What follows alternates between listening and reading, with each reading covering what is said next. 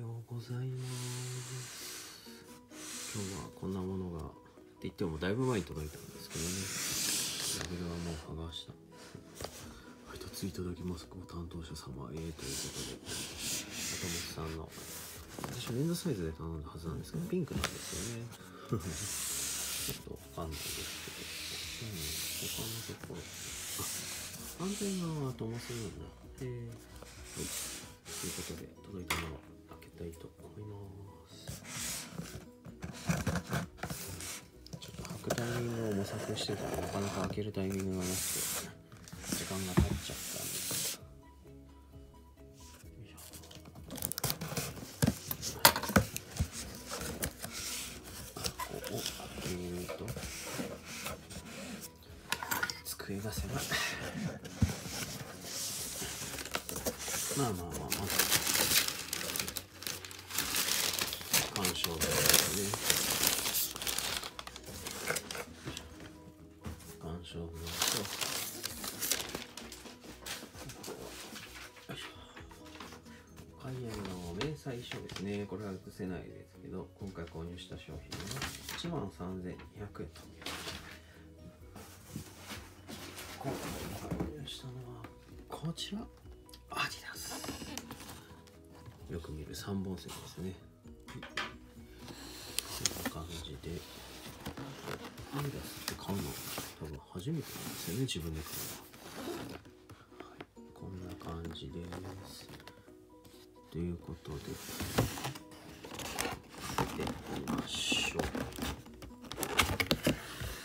はい。EVM64 なんか書いてありますね。えっとあアディマティック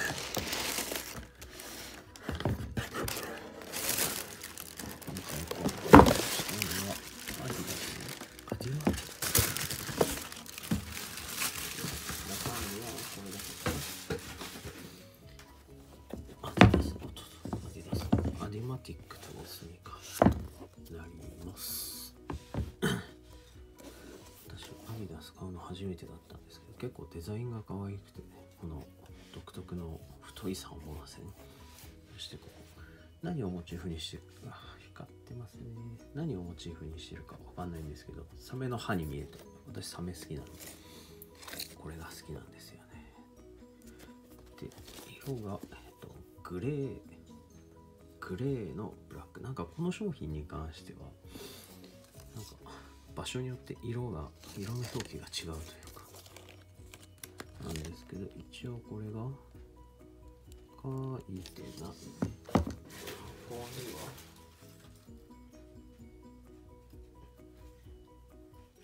うーん。ちょっとわかんないです。はい。でアディダス買うの初めてなんですけどこれが純正のタグですかね。アディマティックオリジナルです色落ちについてとかいろいろ書いてありますね。で私は27を買ったんですね。27買った記憶ないんですけどちょっと確認します。で見ていくとまあここがサメの歯みたいにギザギザギザーってなってここ写真だと気づかなかったんですけど波打ってますね。この波がぐるっともう一周ですね。続いてますね。でアウトソールはガムソール。ちょっとスケルトンっぽい感じでここにアディダス。これがまた可愛いですよね。でここに3つの穴これ何の穴なんですかね。アディダス好きだったら知ってるのかな。でこのぶっとい平紐グレーの紐ですね。でもう全部えっとスエードです。スエードのグレー。でここの黒の部分も黒のスエードになってでここにはえー、っとえー、っと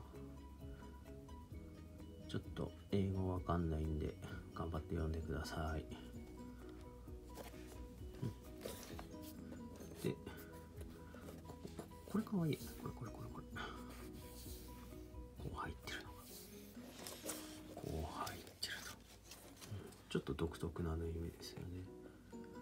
ここも3本縫いなんだね。り方が一緒か。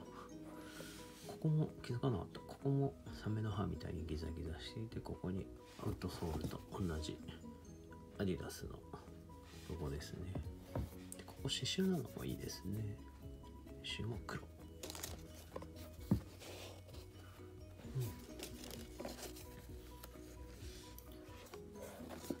こんな感じです。でこれが左足。ち右足ですね。大きな違いは特にないかな。うんなさそうですね。であとはよいしょ。インソールですね。インソールがこんな感じ。あれですね。このシューターのところと同じようなことが書いてありますね The three stripes それだけしか読めませんでした。こんな感じですね。今年結構いろんなカラーリングが出ててエクストララージさんのベースが黒でここが緑のやつとか本当にいろんなカラーリング出ててこれが、えっと、復刻なのかな？私当時を知らないんですけどもう一目惚れして。でこれまたアトモスかアディダスさんでしか買えない。感じがしたんでとりあえず一足買ってみました。はい。気づかなかった。1234かと思ったらここに5があるんですね。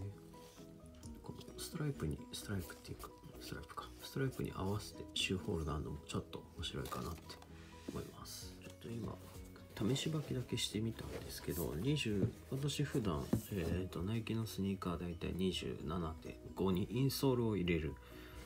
でエアマックス系だと28ですかね。ですけど27でうんとまあほぼジャストサイズ。強いて言うここ？ここ。なんかここがちょっと圧迫するかなっていうぐらいで他はまああの紐も少ないせいなのかすごいスポッと履きやすいような靴でした。ただ今ちょっと見つけちゃったんですけど